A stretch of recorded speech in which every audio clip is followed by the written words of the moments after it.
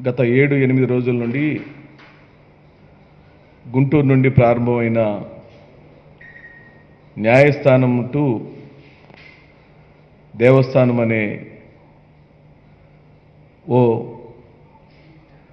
ముసుగు వేసుకొని తెలుగుదేశం పార్టీ నాయకులు కార్యకర్తలు చేస్తున్న పాదయాత్రకు సంబంధించిన సమాచారం రాష్ట్ర ప్రజలకు ప్రకాశం జిల్లా ప్రజలకు స్పష్టమైన సమాచారం చెప్పాలన్నదే ఈనాటి నా ఈ పత్రికా సమావేశం యొక్క ముఖ్య ఉద్దేశం. మీరు జాగ్రత్తగా గమనిస్తే పైకి న్యాయస్థానం నుండి దేవస్థానం వరకు రైతులు చేస్తున్న పాదయాత్రగా ప్రకటించారు. దానికి అనుమతి లేదంటే కోర్టుకు వెళ్ళి ఓ నూట యాభై ఏడు మంది మేము నడుస్తాము. నడిచే నూట యాభై ఏడు మంది ఇదిగో వీళ్ళు అని సరిగ్గా గౌరవ న్యాయస్థానానికి సమాచారం ఇచ్చి ఆ నూట యాభై ఏడు మంది పాదయాత్ర మొదలుపెట్టారు. వారికి సంఘీభావం తెలిపే పేరుతో మీరు పాల్గొనొద్దు అని న్యాయస్థానమే చెప్పినా వారికి సంఘీభావం తెలిపే పేరుతో తెలుగుదేశం పార్టీ అధినేత అయిన నారా చంద్రబాబు నాయుడు టెలిఫోన్ ద్వారా minute to minute follow up చేస్తున్నాడు. జన సమీకరణ చేయాలని ప్రయత్నం చేస్తున్నాడు. బల ప్రదర్శన చేయాలని ప్రయత్నం చేస్తున్నాడు.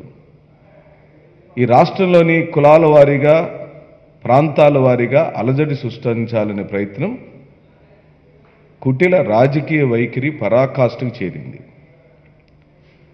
ఎందుకు మేము ఇలా చెప్పగలుగుతున్నామంటే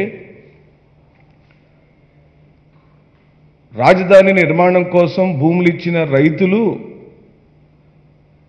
ఇక్కడ మాత్రమే రాజధాని పెట్టండి మరి ఏ ఇతర ప్రాంతాల్లో ఉండటానికి వీలు లేదు అని ఓ ఉడుంపట్టు పట్టి మాకు న్యాయం జరగాలని దేవుడి దగ్గరికి వెళ్ళేది యాత్ర అది. రాజధానికి భూములు ఇచ్చిన రైతులకు అన్యాయం జరిగినట్లు వాళ్ళకి న్యాయం చేయమని చెప్పే ఓ అభూత కల్పన కార్యక్రమం జరుగుతుంది. రాజధాని భూములకు రాజధాని నిర్మాణం కోసం భూములు ఇచ్చిన రైతులకు న్యాయం జరిగింది. వాళ్ళకు ఒక ప్యాకేజీ ముట్టింది. పంటలు పండించకుండా వ్యర్థంగా భూములు ఉంచినందుకు సంవత్సరానికి ఒకసారి కవులు అందుతుంది. చాలా ఎలవెన్సులు వాళ్ళకి చేరుతున్నాయి. కేవలం రాజధాని ఒక ప్రాంతంలో ఉండటం వల్ల అభివృద్ధి కేంద్రీకృతమవుతుంది. హైదరాబాద్ లాంటి సమస్య వస్తుంది. కాబట్టి అభివృద్ధి వికేంద్రీకరణ జరగాలి అనంటే మూడు రాజధానులు నిర్మించమన్న శ్రీకృష్ణ కమిటీ యొక్క సలహా మేరకు సూచన మేరకు ఓ బృహత్తరమైన ఆలోచన చేసిన గౌరవ ముఖ్యమంత్రి గారు ఈ రాష్ట్రంలోని అన్ని ప్రాంతాలు సర్వతోముఖ అభివృద్ధి సాగాలంటే జరగాలంటే అన్ని ప్రాంతాలలో సమానమైన న్యాయం జరగాలంటే మూడు ప్రాంతాల్లో మూడు రాజధానులు ఉండటం ద్వారా మాత్రమే సాధ్యమవుతుంది అన్న శ్రీకృష్ణ కమిటీ యొక్క సూచన సలహాల మేరకు ఓ దార్శనికుడిగా ఈ రోజున నిర్ణయం తీసుకున్నాడు. దానిలోనే అమరావతి మనకి శాసన రాజధానిగా ఉంది. అమరావతిలో నుంచి రాజధాని ఎవ్వరూ తరలించటం లేదు. ఇదంతా నారా చంద్రబాబు నాయుడు చేస్తున్న కుట్ర పూర్తిమైన విష ప్రచారం. మనం ఉండని రోజులు ఈ భూమి మీద మనం ఉన్నన్ని రోజులు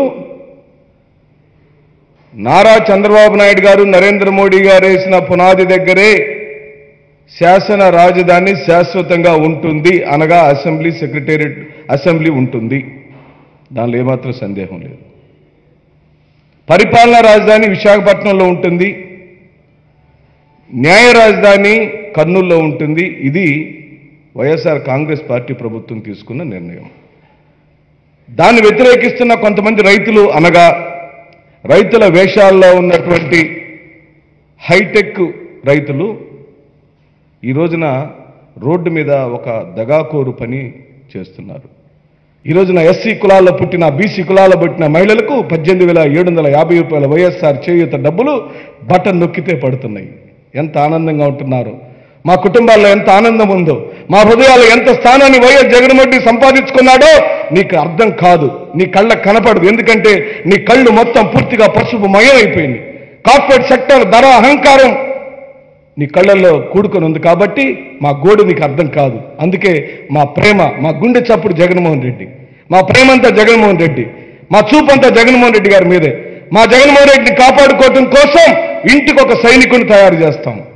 వైఎస్ జగన్మోహన్ రెడ్డి అనే ఒక మహానాయకుడిని ఈ రాజకీయాల్లో శాశ్వతంగా ఆయన ఉండటం కోసం ఆయన కోసం స్థిత ప్రజ్ఞతో పనిచేయటం కోసం ఆయన స్థిరంగా ఉంచడం కోసం ఆయన నాయకత్వాన్ని బలపరచడం కోసం ఒక్కడిని ఇంటికి తయారు చేస్తాం ప్రాణాలయం ఇప్పిస్తాం కానీ జగన్మోహన్ రెడ్డి మాత్రం కాపాడుకుంటామని చెప్పి చెబుతూ సెలవు తీసుకుంటున్నాను. జై జగన్.